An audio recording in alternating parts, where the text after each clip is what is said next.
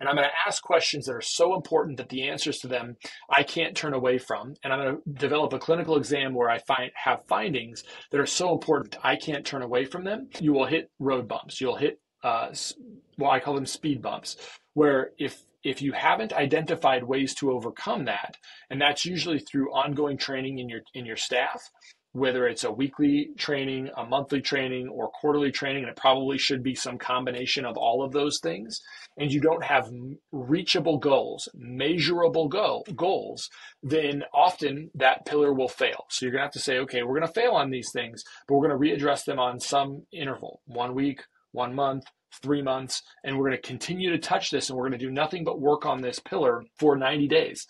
In the 90 days, we're going to reflect and say, okay, how do we do? Can we actually refine that pillar in 90 days? Or have we have we perfected it and we can move on to the next one? So I think the bottom line is when you are building a pillar, think about a disease state. Think about owning that pillar and making it so important in your practice that you're not going to allow patients to walk out of your comprehensive exams who have that disease state unidentified